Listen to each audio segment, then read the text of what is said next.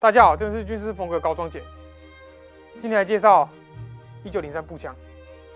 那装这把是一九零三 A 三步枪，那本工作室只有 A 三型，那也有分 A one 型跟 A 四型。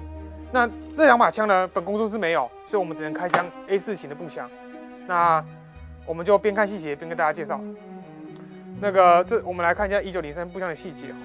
来，我们先看枪托部，这边有一个油壶式。跟副平副平筒的位置，这边可以放副平件。然后呢，我们再往上看，我们也看到那个罩门座，A 三的罩门座长这样子。那如果是 A one 或早期型的，他们罩门是有标尺的，会在这个位置。那我们只有 A 三，所以我们只能讲 A 三的。A 三呢，就跟我们上一集讲 M two 卡宾枪跟 M 卡宾枪后期型是一样的。是可以调左右，左右是调风偏，哦，然后呢，上下呢是条距离，然后呢，枪机是旋转式闭锁枪机。如果我们今天要拆枪机呢，枪机卡榫拨到中间位置，好，可以抽出我们的枪机，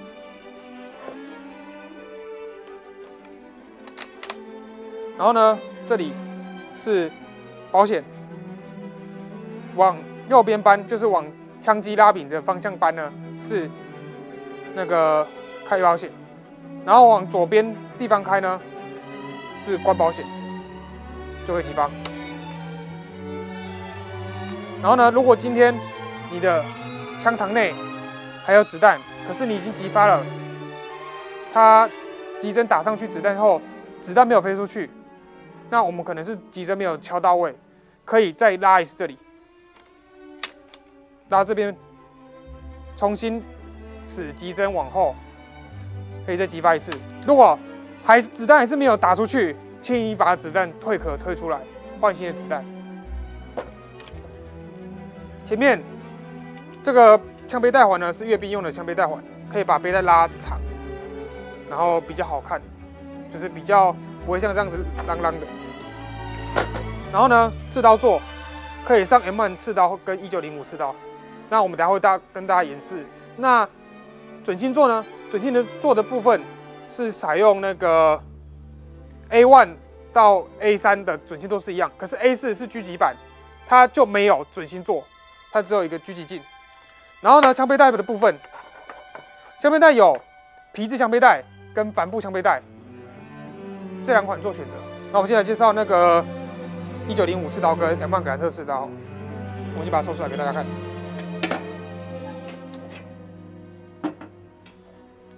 一九零五刺刀呢，装备于战间期哦，然后二次大战初期美军也是有使用。那中后期呢，已经换成 M 1格兰特刺刀。那你看初期型的真的很长哦，那后之后的就变短。我们拿比较一下。然后我们再把刺刀放回去，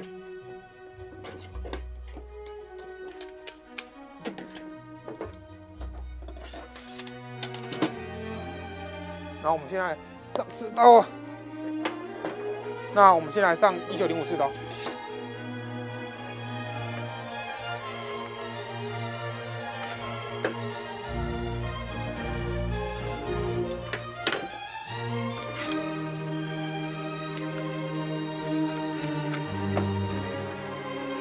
呃，上面这两款是美军的弹袋，那这款呢，卡其色的是二战版式，然后下面呢是韩战的，然后呢，下面这两款都是国军使国军所仿造的弹袋。那大家可以看到哦，美军的第一个有打印，国军的没有。那国美军的车工呢比较精良，国军的车工非常的粗糙。那美军的弹袋呢，从那个抗战到内战都有使用，迁台初期也有。那国军的呢，通常都是迁台初期后才有自己所仿造所生产。武器步枪出现后，这种弹袋就没有再做使用了，就换成另外一种。那我们现在来介绍一下那个一九零三步枪为什么在中国战场？因为抗战的中后期，美元进来了，然后美元。这个物资啊，有装备给驻印军跟伞兵部队，那是中后期了。那可是那时候装备呢，只有 A one 型比较多。那我们之后也会补 A one 型的图片给大家看，当然也有 A 三型。那到了那个内战，内战呢刚开始打是有美元的，可是越打美国，因为你在打仗，美国不喜欢这样子，所以就断美元，没有美元了。那那时候呢，美元的子弹呢是七点六二乘六三，我给大家看一下七点六二乘六三的子弹啊，这就是俗称的七点六二乘六三的子弹，点三零的。那当时的中国军队呢，是采用中正式的七点九二乘五十七的子弹，这两种子弹呢不通用，那怎么办？一九零三改膛线，改打七点九二乘五十七的毛瑟弹。那它有六一一九零三就换了个名字叫花旗中正。